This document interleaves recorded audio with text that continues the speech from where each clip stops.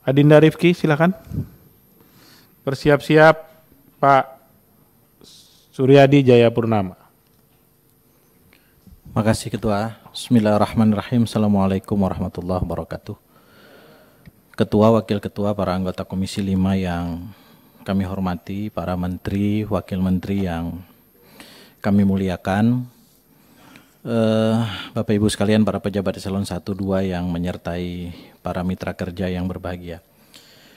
Pertama-tama kita menyadari bahwa kegiatan kita pada kesempatan pagi menjelang siang hari ini adalah amanah dari pasal 23E ayat 1 Undang-Undang Dasar Negara Republik Indonesia tahun 1945 bab tentang Badan Pemeriksa Keuangan di dalam konstitusi kita di mana BPK berkewajiban menyampaikan hasil pemeriksaan keuangannya kepada DPR. Karena itu kegiatan ini tidak bisa dianggap remeh. Karena kegiatan ini adalah kegiatan yang wajib dilakukan dalam tata kelola negara dan karena itu DPR dan BPK telah menyusun peraturan bersama DPR dan BPK yaitu peraturan nomor 1 tahun 2018 terkait dengan tata cara penyampaian hasil pemeriksaan BPK kepada DPR. Dan apa yang kita lakukan di Komisi 5 pada kesempatan pagi hari ini adalah bagian dari ketentuan peraturan-peraturan yang saya sampaikan.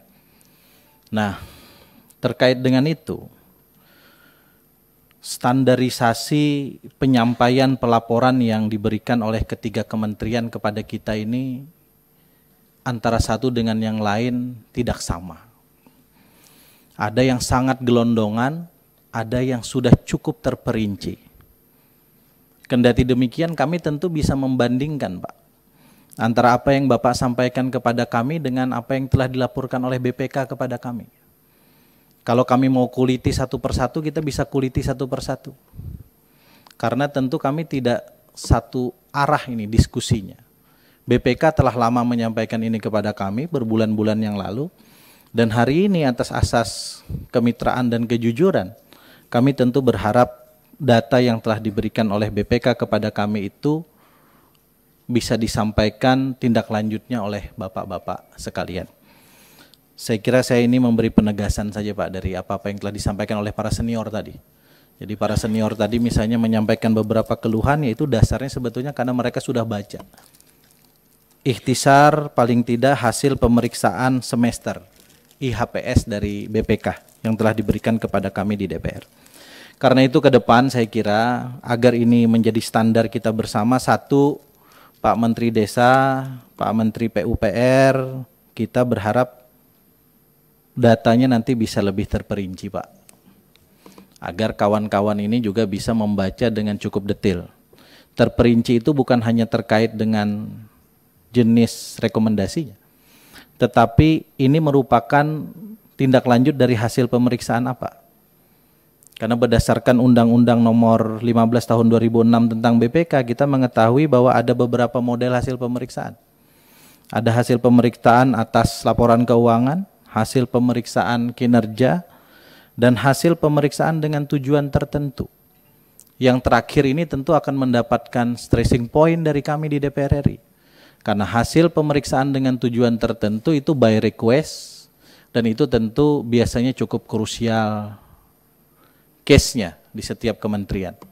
Kita tahu setiap kementerian sebetulnya telah membentuk sistem pengendalian internal dan kita percaya dengan sistem di internal itu untuk melakukan perbaikan-perbaikan.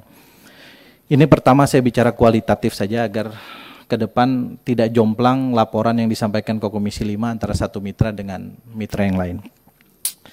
Yang kedua, izinkan kami masuk dalam beberapa paparan yang telah para menteri sampaikan kepada kami. Pertama, Kanda Halim Iskandar, Dr. Halim Iskandar. Selamat Kanda. Dapat doktor dari Universitas Negeri Yogyakarta. Saya dulu ngekos di samping UNY Kanda. Jadi kita jadi sedulur ini. Uh, dari tahun 2005 sampai 2019, dari sebelum Kementerian Desa, PDT, dan Transmigrasi terbentuk, ada lebih kurang 953 rekomendasi yang dikeluarkan oleh BPK. Dari 953, 369 sesuai rekomendasi. 438-nya belum sesuai, namun dalam proses tindak lanjut. Dan dalam proses tindak lanjut ini, bahkan yang sejak 2005 pun belum ada yang tuntas sebagian. Dan dari itu ada 145 rekomendasi yang belum ditindaklanjuti. Kalau kita kuantitatifkan, hampir separuh yang masih rekomendasinya belum sesuai, sebagian belum ditindaklanjuti. Jadi kalau kawan-kawan nanya ini kok bisa dapat WTP padahal hampir separuh yang seperti ini. Tentu ini menjadi tugas Kanda Halim karena ini baru tahun pertama memimpin Kementerian Desa dan PDTT. Ke depan tentu ini tidak boleh lagi menjadi tanda tanya. Karena jangan sampai nanti marwah dan kredibilitas pemeriksaan BPK itu justru dipertanyakan bukan hanya oleh DPR tapi juga oleh publik. Ini belum lagi kalau kita lihat beberapa hasil pemeriksaan BPK dengan tujuan tertentu terhadap dana desa. Kendati dana desa ini tidak berada di Kemendes, tapi di Kementerian Keuangan. Tetapi fungsi fungsi pelaksanaan dan pengkoordiniran ada di Kementerian Desa. Kami memang tidak berwenang untuk ngutak-atik ini, tapi kita tahu di lapangan ini ada persoalan yang juga cukup serius bahkan beberapa aparatur desa terseret persoalan hukum atas persoalan ini. Yang kedua, Kemenhub. Pak Budi Karya, kami di Komisi 5 ini sedang akan membahas RUU tentang LLAJ, Pak. Salah satu poin dalam RUU LLAJ itu adalah terkait dengan bagaimana PNBP dalam lingkup transportasi itu bisa digunakan secara optimal untuk kita melayani warga negara kita pada sektor-sektor transportasi itu pula. Dan dalam pemeriksaan BPK, tadi Pak Saihu sudah cerita, Kementerian Perhubungan nampaknya cukup kewalahan untuk menarik beberapa PNBP. Misalnya penerbitan SRUT pada APM 23 merek pada tahun 2017. Unitnya tidak kecil, hampir 6 juta unit kendaraan bermotor. Nilainya hampir 700 miliar. Ini tahun 2017.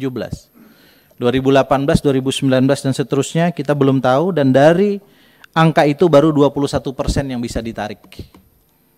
Memang ini kecil-kecil Pak Menteri kita tahu tapi dalam konteks resesi keuangan seperti sekarang PNBP menjadi harapan kita bersama. Di laut misalnya di perhubungan laut ada juga kekurangan jasa untuk kemudian menarik uang rambu di laut. Dan kita tahu di laut juga Kementerian Perhubungan telah memberikan konsesi kepada ship to ship transfer terminal, Pak. Yang konsesinya tidak tanggung-tanggung lebih dari 45 tahun. Di Kalimantan Selatan itu ada satu STS yang dilalui oleh ribuan tongkang untuk disalin ke special. Kalau kita hitung kalau kita hitung nilai transaksi dari tongkang-tongkang ke special itu sebulan hampir 11 triliun. Sementara PNBP yang diterima oleh negara hanya 200 juta rupiah.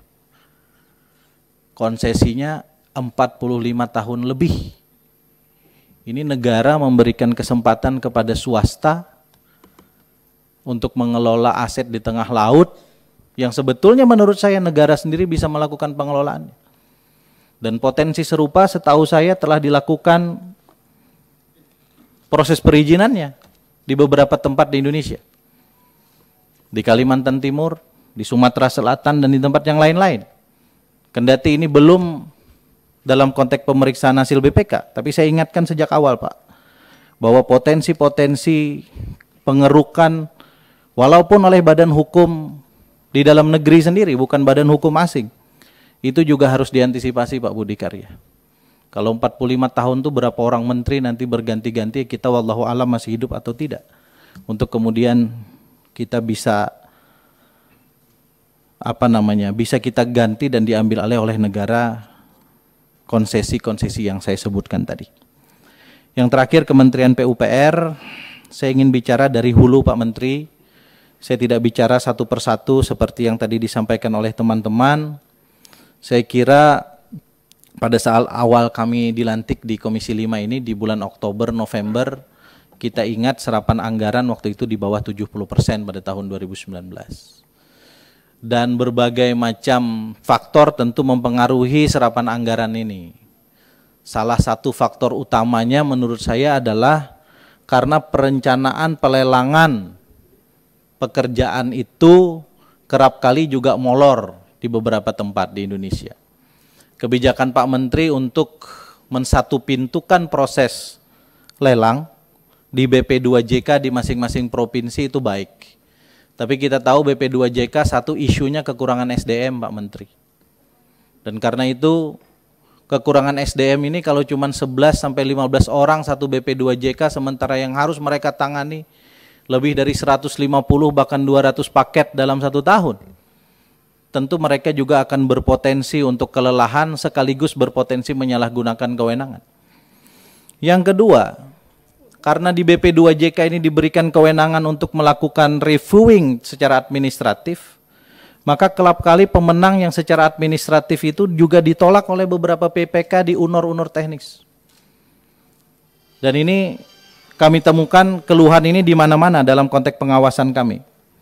Dan yang paling mengkhawatirkan kami adalah saat ini di kawan-kawan di dunia usaha, mereka berlomba-lomba untuk murah-murahan nawar.